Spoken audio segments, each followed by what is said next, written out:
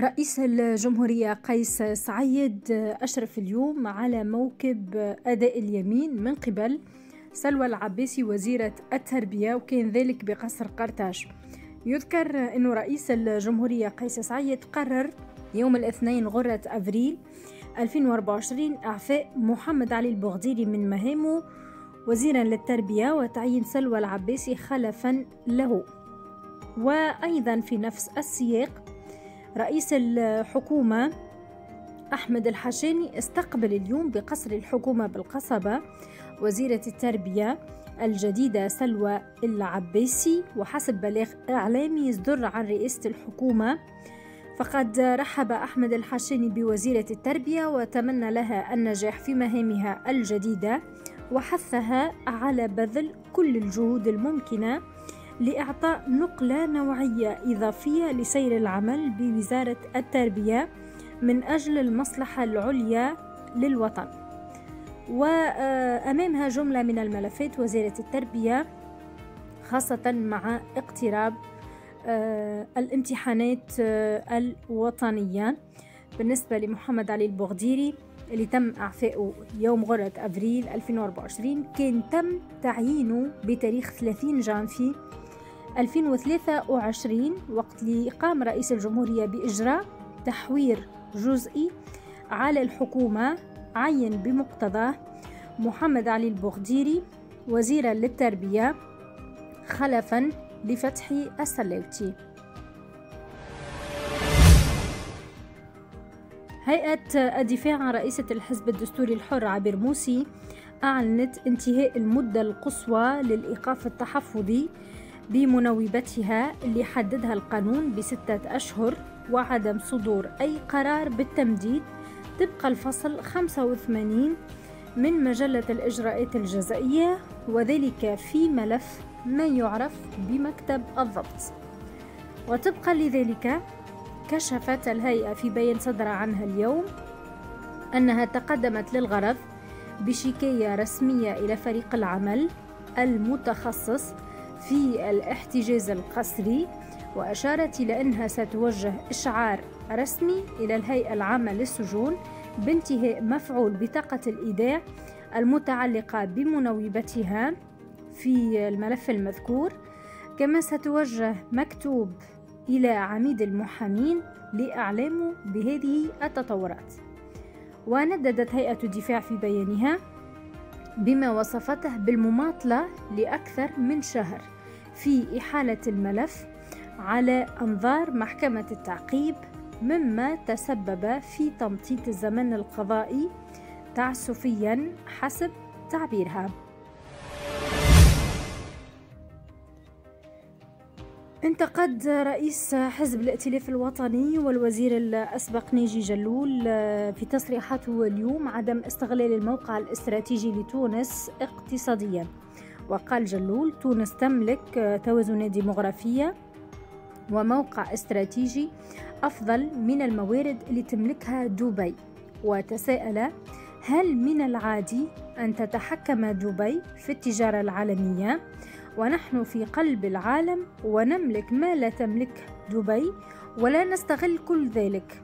وقال جلول تونس تملك موقع تحلم به كل البلدان وبإمكانها السيطرة على خليج صقلية والتحكم في الملاحة البحرية.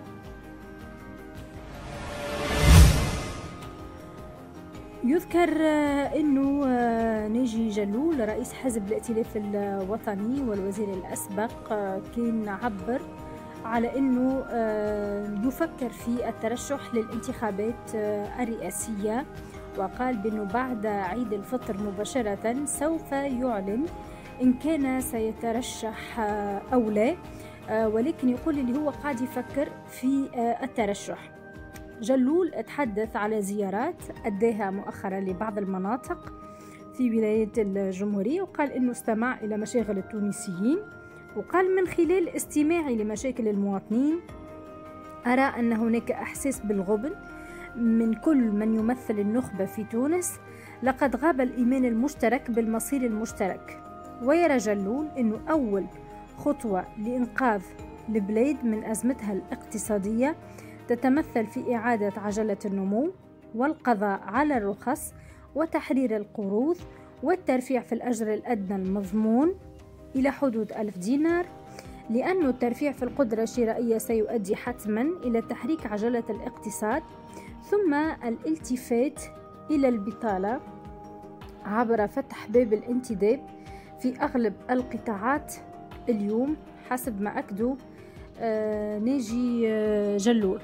وبين أنه لتفعيل كل هذه الإجراءات لا حل أمام تونس إلا التوجه إلى صندوق النقد الدولي.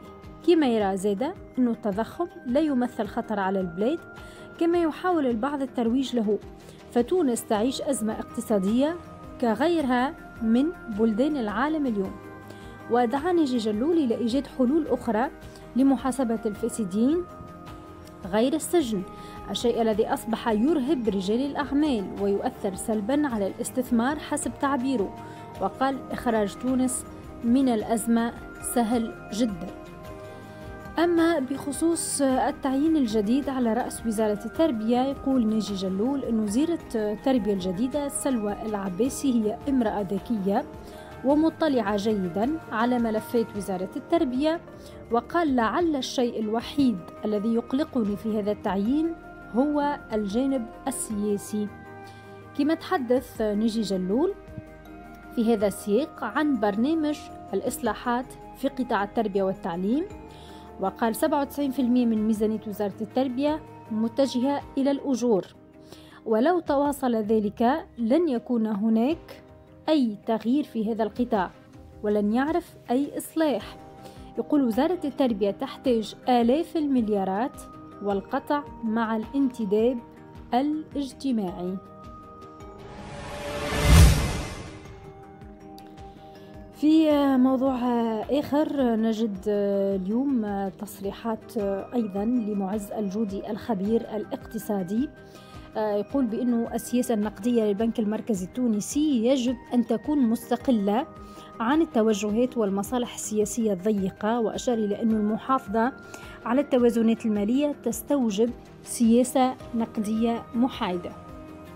يوضح الجود يقول أنه يعني على يعلق على اتخاذ مجلس إدارة البنك المركزي لقرار عدم إقراض الحكومة مباشرة. ويعكس دراية البنك بمدى تأثير هذا القرار على التضخم المالي.